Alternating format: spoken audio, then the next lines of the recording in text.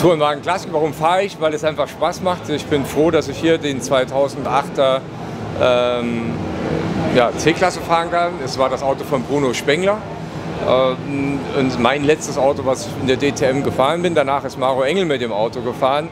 Und äh, ja, mit Maro Engel verbindet mich eine lange und äh, äh, enge Freundschaft, denn er ist äh, in Monaco groß geworden und ich habe da gelebt und ich kenne ihn vom Karsport aus.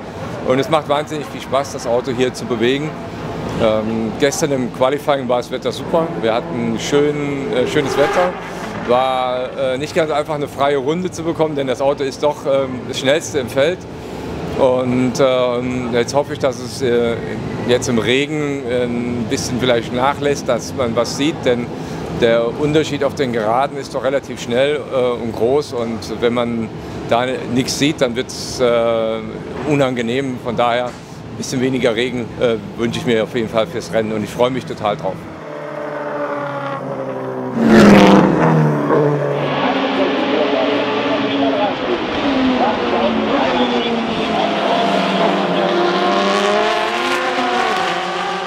glaube, dass äh, die Fans diese Autos sehr lieben und äh, eine große Beliebtheit haben. Deswegen kann ich mir gut vorstellen, dass da viel Entwicklungspotenzial ist und dass man äh, solche Serien in der DTM und in anderen großen Rennen, Rahmenprogrammen auch wiederfindet, weil äh, man sieht es einfach, äh, was für ein Publikumsmagnet das ist.